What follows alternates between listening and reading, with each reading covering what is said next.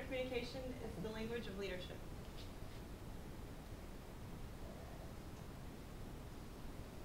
In the book Listen Up by LeMay and Schlomberger, the authors talk about three types of listening. First type is hearing, and this is just listening to the words that are spoken and receiving the words that are spoken for their literal meaning. Second one is analyzing. That's looking for a, a deeper meaning, critical thinking a little bit, trying to understand what the speaker is saying. And finally, empathizing. That's looking at the underlying feeling, the nonverbal cues, and the meaning behind what the speaker is saying. When looking at listening or effective listening, we need to look at active listening, which is very important. It's very important to listen to the speaker until the speaker has completed what they're saying. Make sure you keep focus on the speaker. Don't use any prejudice or opinion when listening to somebody. Watch their tone and their body language to understand the feelings and the meanings behind what they're saying. Um, and don't let any previous knowledge interfere with what the speaker is saying um, so that you can clearly understand the, the message. In the Foundations of Organizational Leadership course, our book discussed learning styles and cognitive profiles. This explains how people learn, and there's four styles to the way people learn and communicate. The first one is a sensor thinker. These are people that are analytical, they're methodical, uh, they're organized, they're able to retain large amounts of information. Memorization is never a problem. They like to work alone with no distractions and be very organized. Usually they do well in math and science and end up in positions in business or liberal studies. The second group are sensor feelers. These are concrete verbal learners. They work better with a partner. Uh, they like to break the task from large into smaller pieces and relate personally to this experience. They do relate well with people, so they end up in nurturing positions like nursing or teaching. The third is intuitive thinkers. These have a strong need to understand. They're very logical. Uh, they want to see the overall picture. They like to work alone first and then have that understanding in a group as well. And they usually end up in things like engineering or science or design. Finally, we have intuitive feelers. These are more abstract, uh, visual learners, most creative. Usually they're frustrated by school or routine memorization or anything like that. They do struggle to have instructors understand their learning style, so they have problems in school. And generally they end up as inventors or artists or even in design as well. So understanding how people listen is a great building block for building your communication skills. This helps in the workplace with training employees and moving forward in your career.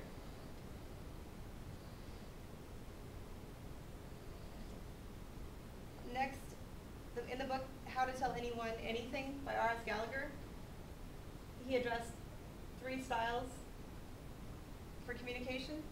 The first one is aggressive. These are people who are very closed-minded. They don't listen well. They interrupt people, monopolize the conversation. They're very patronizing and they don't admit to being wrong. So they don't make great leaders because they're always trying to control people, which will bring resistance in line. Second type is passive. These are people who are more hesitant, self-conscious. They let others make the decisions. They sit on the fence on issues. Uh, they depend on relationships. They become powerless and often have low self-esteem. So they don't ever progress up the corporate ladder or have a lot of job stability. Finally, there's assertive. These are your effective listeners, people that express themselves clearly. They don't judge others. They take people's feelings into account. They're very proactive and fair, consistent in what they do.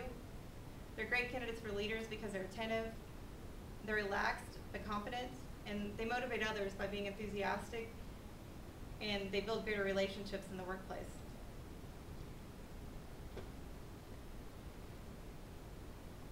In the book Managing in the Age of Change, Ritvo, Litwin, and Butler discuss barriers to communication. The first three are more interpersonal in your everyday life. Uh, physical barriers are actually things like doors or windows or space between people. Perceptual is how people perceive things, um, letting their own perception affect the meaning of the message. Then there's emotional. These are people, this is when people bring emotions into it and don't get the clear meaning behind it because they're scared of what people will think about them. The next four are more effective, affected in the business world.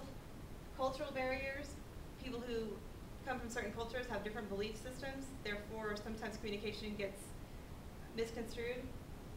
Um, language is a ma- major barrier. There's 6,000 languages, so English being the international language of business helps with that, but a lot of communication problems occur due to jargon and things like that. Uh, gender is also a big thing because women communicate differently than men. Women are more logical and emotional, where men are logical but compartmentalize their ideas and feelings. And finally, interpersonal. These are the ones that people probably struggle with the most. And these are going to be things like um, people not reaching out to others uh, because they're scared of people hearing what they have to say or, or not hearing them correctly. So being an effective listener and communicator and understanding how people learn is very important. All of these qualities will help you to become a better leader. Um, there's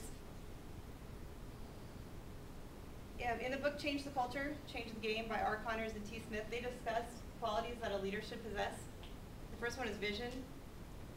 They know where to go and how to get to their success. Uh, they're able to lead others along the path. They do this with confidence. Um, they understand that they know where they're going and they understand how to get there and they are confident about that and people follow them because of that. And with that, they bring enthusiasm to lead people to the end. They're also self-aware. They know their differences. They're able to understand where their weaknesses are and their strengths, and they're willing to learn new ideas. And they always lead with integrity. Uh, they're ethical in everything that they do, um, and courageous to face new challenges and work towards success with their team. And finally, innovation. Leaders think outside the box. They're able to work well under change, um, adjust to change, and motivate others during change. And finally, looking at John Maxwell's five levels, uh, levels of leadership, these discuss the different types of leaders and the progression into a stronger leadership. The first one is position, and this is basically just the title, the influence that somebody has because of their title. These are people who are usually bosses but seldom have leadership qualities. They don't really have to have any effort or ability. They're often just placed there because they know somebody. Secondly, we have permission. These are people who influence others to follow because they want to follow. They develop trust among their followers, and they create positive environments to build relationships and get along with everyone.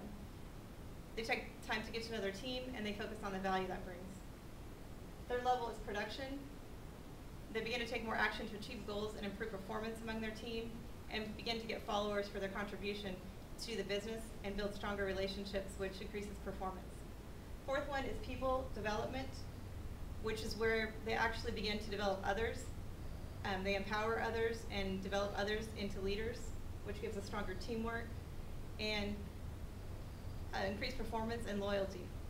Fin- finally, we have pinnacle. Seldom people ever get to this level. These are people who are true leaders, and they develop other leaders and followers into level four leaders. So these are the most important people for the company.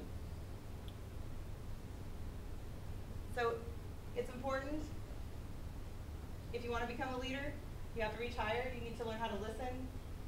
You need to understand how people listen.